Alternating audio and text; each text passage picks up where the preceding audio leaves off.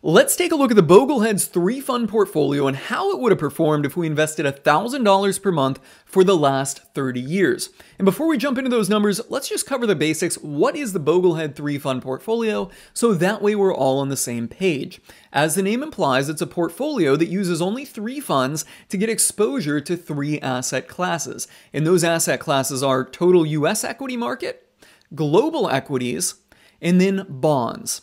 Now, for the bond portion of the portfolio, it doesn't get exposure to global bonds. And that's because of, well, number one, there is no fund that combines both global bonds and US bonds. And number two, it's generally accepted that the risk return profile and the diversification benefits of global bonds, quite simply, isn't worth it or isn't that valuable. In other words, global bonds bring a lot of risk into the portfolio and not really much in the way of returns. So for that reason, US bonds are used in the Bogleheads three fund portfolio. Now, um, in that three fund portfolio, there can actually be a lot of variation.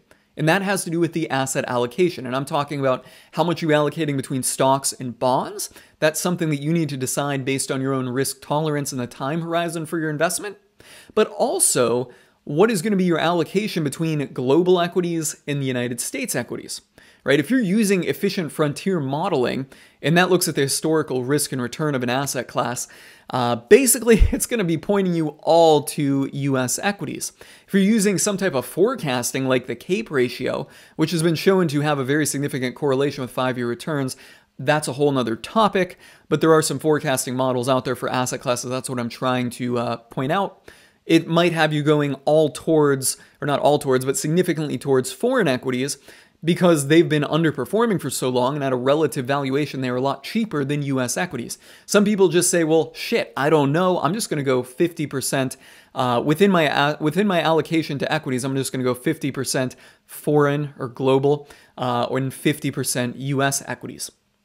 So what this kind of highlights actually is a caveat of investing, and that is it is very, very complex. You see just how complex investing is with three funds here. We got to decide between stock and bond allocation. We got to decide between US equities and global equities. So, why the three fund portfolio? Well, A, it's simple. And B, um, it's low fee. It can be implemented for low fee. Let's just go back to simple because I didn't really touch on that. But one thing you'll find and the numbers support this wholly, is that simple portfolios do just as well as more complex portfolios. You see a lot of people out there, advisors, uh, robo advisors, will say, hey, I'm going to have 5% to small value, 5% to mid cap value, 10% to large value, and then I'm going to go, you know, 5% to Pacific. Uh, Pacific region small value, right? And then any you end up with this fund that's got like 12 to 20 holdings in it, and ultimately, over the long period of time, it does no better than a simple three fund portfolio. And also, it can be implemented with low fees, right? So you can get exposure to each one of these asset classes US equities, global equities, and bonds.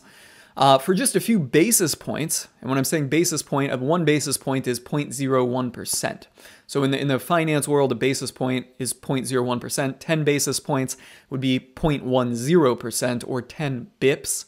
Um, just some kind of terminology there, but you can get these, you can get exposure to these asset classes for very low fee through Vanguard ETFs or mutual funds. Schwab has some very low fee funds, as well as so does Fidelity. And there might be some others out there that I'm uh, that I'm not mentioning, and I'm not endorsing either one of the any one of these, but I'm just letting you know those are brokers that do have funds with low fees to represent these asset classes. Another thing is, too, on the simplicity, going back to simplicity, if you are tax loss harvesting, because you've only got three funds in here, it makes tax loss harvesting very, very, very easy, right? So you're not constantly struggling to find a replacement for one of your holdings that you sold. Uh, it's just there's only three funds, and you can easily come up with your alternatives for that.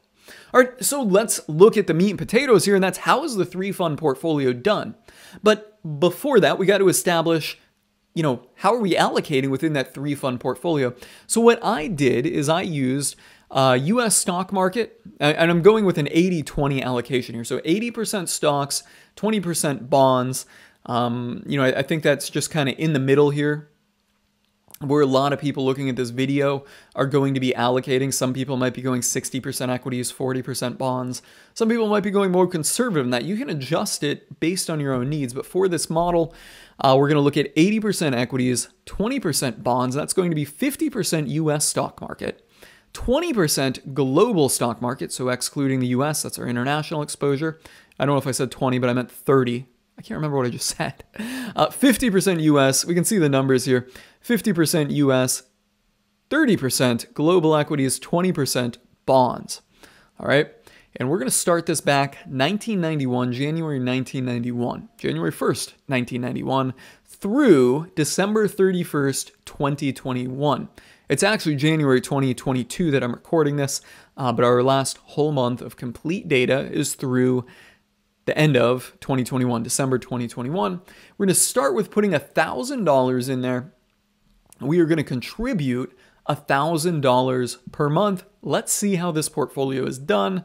We can come down here, we can see the chart, and we can see that our total portfolio final balance would be $1,656,000. Uh, in this case, our compound annual growth rate is irrelevant here because this thing is just calculating it based on the amount we're contributing each month, you know, and the value that that's adding to the portfolio. So this number is not accurate uh, using this model, but the time-weighted rate of return and the money-weighted rate of return is, right? So uh, the time-weighted rate of return, 8.77%, money-weighted, 8.35%. These could vary slightly based on the dates each month that you make the deposit. So we can just call it 8.5% annually here from this 80-20 portfolio. And then we can see the drawdown. Drawdown, 43.83% during the global financial crisis. Uh, let's just see if it has a drawdown recovery on here. Where's drawdown? I'd like to see this underwater period, right? Yeah, so from November 2007 to February 2009 is when you had that great financial, uh, we had the great financial crisis. You recovered by April 2011 and your portfolio was underwater for three years and six months. Interestingly, that was a lot faster than the dot com bubble in the early 2000s. You recovered faster from that great financial crisis, probably because there was so much government intervention to kind of stave off that financial crisis during that period of time. Uh, let's just see if we can come back to it here. The portfolio's Sharpe ratio, I like to go to the Sharpe ratio, that's a measure of risk and return, 0.57. So let's just compare this to something else here because Vanguard has their life strategy fund. Uh, Vanguard has a life strategy fund, which you can buy and just put all the money into it for an 80 20 portfolio. And I think that one does actually have some global bonds in it. So let's just put it uh, benchmark, specify ticker. We'll just go VASGX, right?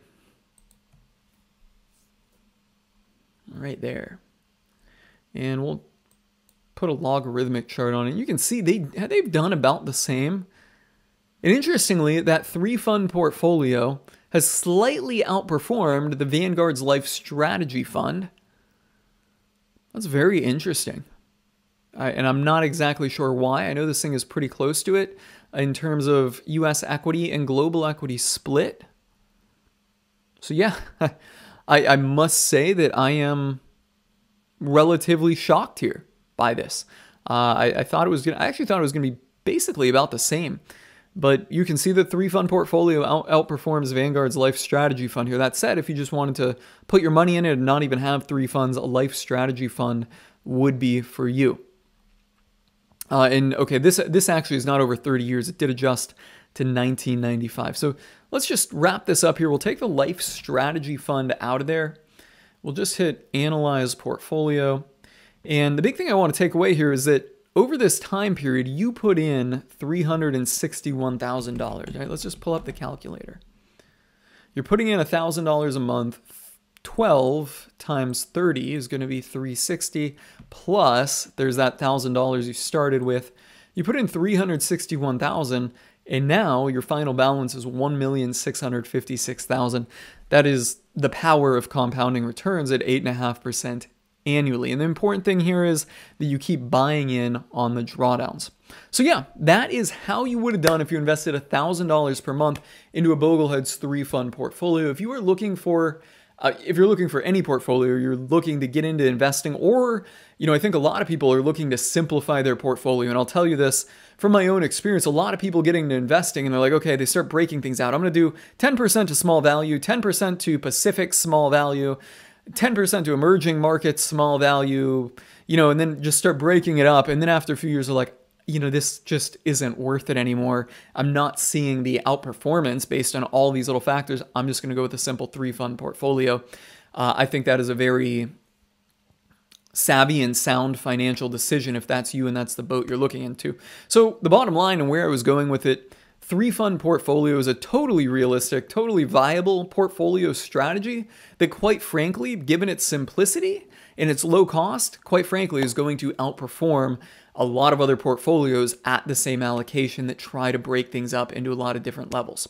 So that's my two cents on it. What do you guys think of the Bogleheads 3 fund portfolio? Are you investing in a Bogleheads 3 fund portfolio? Let me know in the comments below.